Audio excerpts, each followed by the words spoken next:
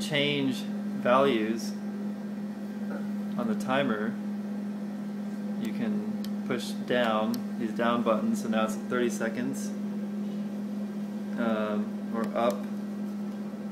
Push the up button to get it back to zero seconds. You always, if you're if you don't want any time, if you want the time to be zero seconds, you still always need to put at least 0.01 seconds because the timer needs to reset itself by using 0.01. If you don't do that, you're going to get the some the motor's going to do some have some errors when it's retracting. So you need to leave it at always 0.01, and then you can change um, the. For example, if you want, in this case, if you push the top, you get nine. If you push down, you get one second. So that's one sec, 1.01 seconds, and then if you have one second, you can remove this 0.01 at the end. However, it's probably not going to have much effect.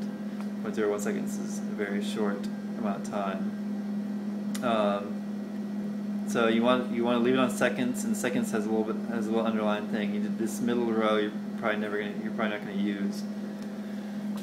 Um, once that is set, we'll see the one second timer. It's going to touch count down a second, and then lift off. Repeat it.